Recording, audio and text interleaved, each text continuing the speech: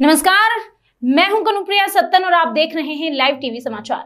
आइए नज़र डालते हैं आज की कुछ खास खबरों खबर अरावली से ज़िले के वायर तालुका के सांठवा के महाराणागढ़ को प्रति वर्ष प्रतिष्ठित और पूजा किया जाता है।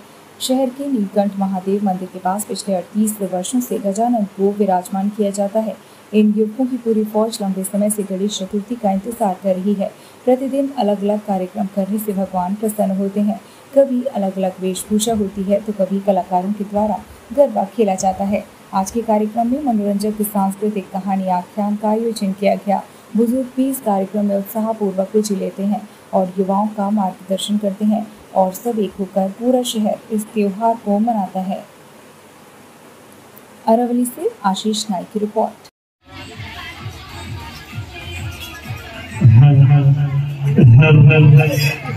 हर हर